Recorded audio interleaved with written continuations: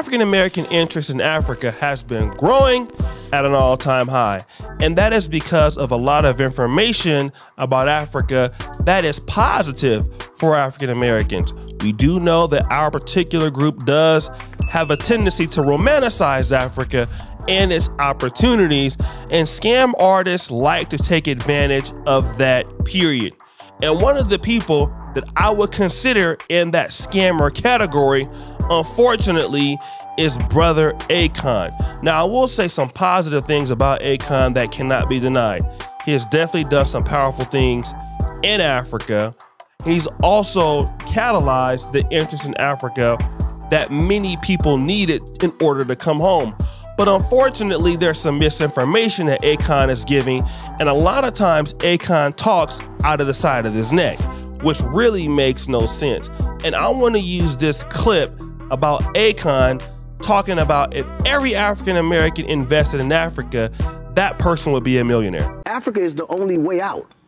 It's the golden and it's the holy grail for your freedom. Like, if Americans, African Americans specifically, don't see that investing in Africa changes everything for you, I mean, all the way down to generational wealth. Like, it's in a, Africa's in a position where if um, African Americans take position now, you guys, every single African American in America would be a millionaire without even thinking twice because there's not, there's nothing that's not needed over there.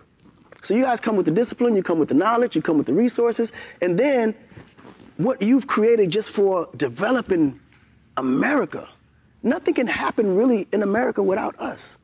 Just think about everything that creates so much revenue for America, from sports to entertainment to fashion to medicine.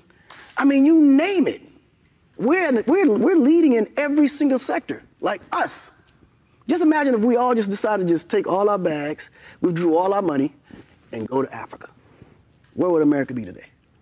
It would collapse overnight. Because nothing would, like, nothing. Like, all of our athletes can go create their own teams. Just, you, who do you think they're gonna watch? They're gonna watch all of black professional athletes playing in Africa, or they're gonna watch the white professional athletes playing in America. Okay, so you've heard it. Now, let me just say this there is a lot of opportunity on the continent of Africa. I myself have been coming here for six years and I found a lot of opportunity for myself. And I know many other African Americans or even Ugandan Americans or Black British that have done very well. Unfortunately, with Akon's comment, he's not looking into a lot of the fraud and the lack of protection of African Americans' money coming back to Africa. It's not just us, it's people who are from the diaspora. I'm talking about people who are from an African country itself. Let's stop the show here. Imagine you're a Ugandan American and you've moved to Boston and you know the system here. You understand the languages in whatever part of the country you live in. Wouldn't that make you be an instant millionaire when you come back? But the answer is absolutely not even people who come from here and go abroad and come back, they wouldn't become millionaires. You want to know why? Because of fraud and because of scams and lack of protection of investment from people coming back from the diaspora. Let me just give you one case in point here, okay? Let me start off with this diaspora and frauds. What do I mean by that? People from the diaspora, Britain, the African American community living in Africa, that are committing land scam frauds, which then deter African American investment in Africa. Let's play this clip. All these videos about Juliet and Juliet and Juliet. Listen, Juliet and Adrian, yeah, they might have got a divorce. They've split up. So what? That's their personal life. The things that she's done, go for the things that she's done. Go for the things that people are saying she's done. There are many sisters that are upset that have no land because they believed her. They believed her YouTube channel and they believed that you would get your land and it's now yours. That's not true. She knows it's not true and everybody knows it's not true. But those that are not in Gambia, again, I say, take responsibility. Why would you spend thousands and thousands of pounds buying something? I know she's a good talker, but why would you spend thousands of pounds buying something that you've never seen? Why didn't you do your due diligence and ask someone else as well? But a lot of people have lost money because they thought they were buying something when they didn't buy anything. So, as you see here, this is a person who is allegedly from the UK who is taking advantage of African Americans, black British investment in Africa. And all of this is going on unregulated. The country knows about this, I'm pretty sure. They're not doing anything to stop it. So then, how are you going to be a millionaire when you keep meeting fraud? Let's talk about land scams in other countries, such as Ghana. But I want to share with you all the most disappointing thing I have yet had to report thus far when it comes to the land in Ghana. Many of you all have seen my video when I have advised many people do not buy land in Ghana.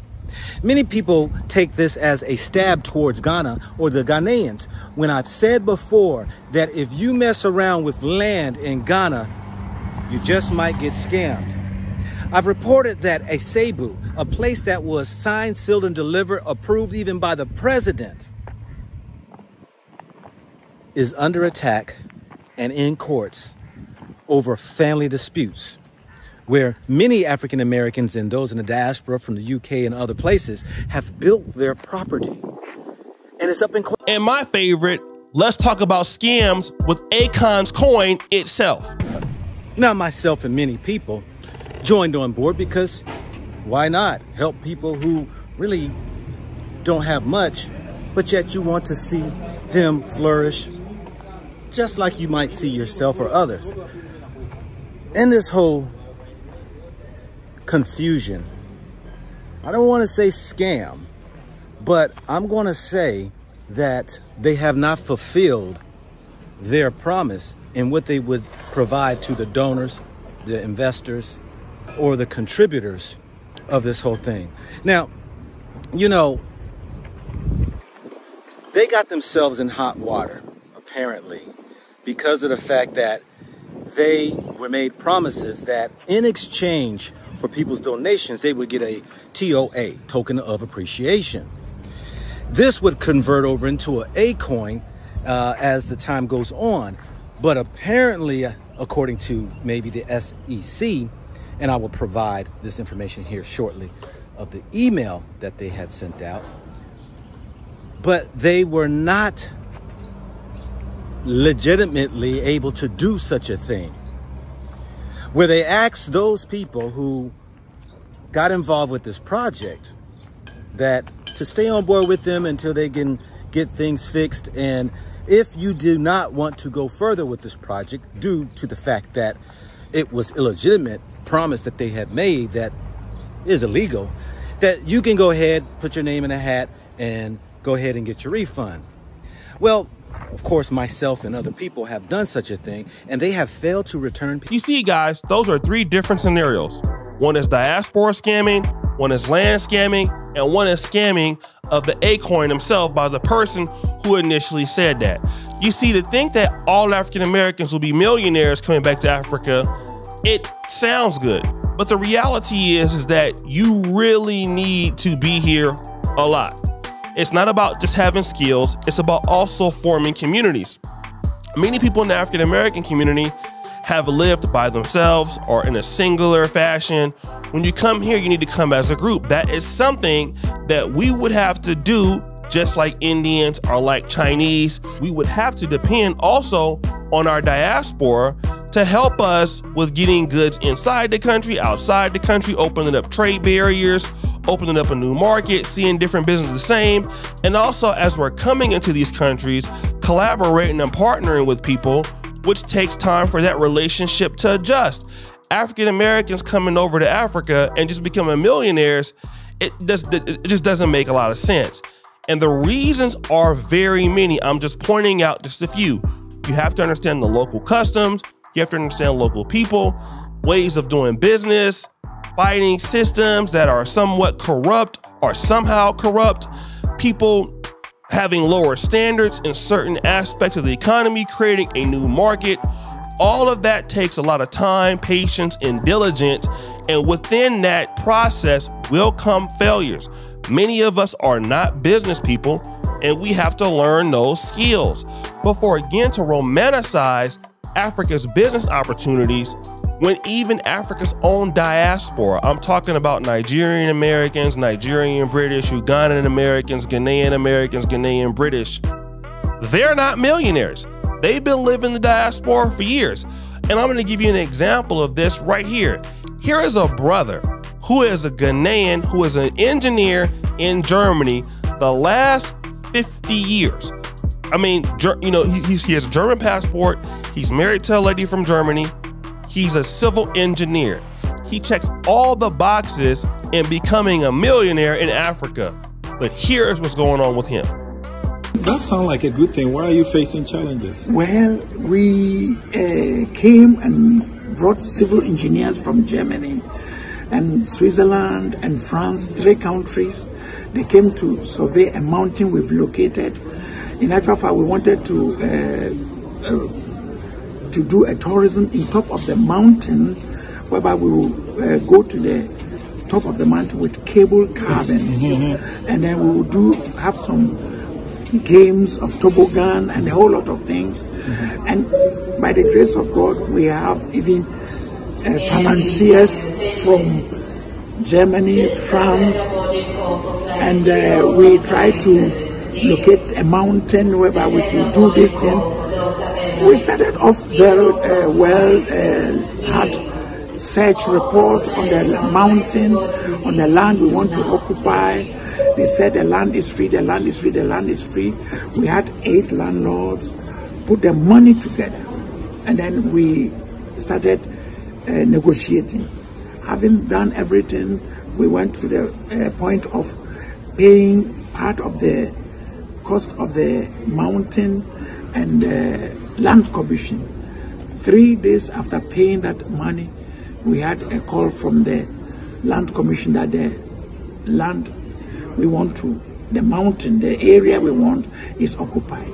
It's occupied. it's occupied. It's owned, but or it's occupied. It's occupied. But, that is the language but, they gave uh, us. But did you guys go to see the place? We saw the place. And there was nobody we, occupying it. No, we've done three, four uh, different. So, do you see the problems he's having? If he is a Ghanaian, born and raised in Ghana, and he's been educated abroad, he understands how to do things, and he can't be a millionaire. What makes Akon so sure that African Americans can become millionaires? Again, this is another way to try to scam somebody into doing something that you want them to do when it doesn't make sense. Akon needs to stop saying silly things like that because it just causes more heartbreak. The reality is, doing business on the ground in Africa is very difficult. It is very hard. Is it rewarding? Yes but it does take a lot of time. It can take you one year, it can take you five years, it can take you 10 years, but it does take a lot of time. And you do have to go through a lot of BS, almost any African country that I know of, in order to be successful. It can be done, it will be hardships, and some people will fail in the process. That's just how it is. If it was easy, everybody would be doing it. But guys, thank you so much for supporting us here on the Kenganda channel. I really appreciate you for all that you do. Subscribe and hit the bell. We're out.